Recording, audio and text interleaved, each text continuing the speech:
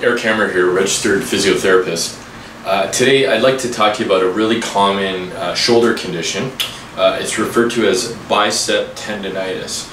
Uh, so essentially what bicep tendonitis is, it's uh, tendonitis of your bicep uh, or inflammation of your bicep tendon. So essentially your bicep is the muscle right in the front of the, the arm here. And the tendon, so tendons again they connect muscle to bone, basically attaches right on the front portion uh, of your humerus, right here.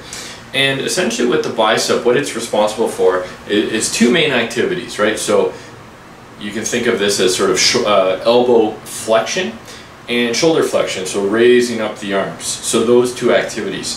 So in a lot of cases, uh, when I see somebody who's got bicep tendonitis, uh, in a lot of cases it'll be from some sort of repetitive strain of some type, so perhaps some kind of overhead uh, movement, or maybe they might be in the gym uh, doing some bicep curls or some preacher curls, and, and their form might be off. I find in a lot of cases with these particular individuals, um, posture has a, has a big, big influence. So in a lot of cases, these sort of compressive type of movements uh, have provoked symptoms. So again, prolonged uh, lifting, overhead, uh, reaching type of movements and it'll be very localized typically uh, when people describe their pain. So essentially right in the front here, and it, as I mentioned, in a lot of cases it'll, is it'll be it'll be provoked with these actions and provoked with activities that compress the shoulder forward.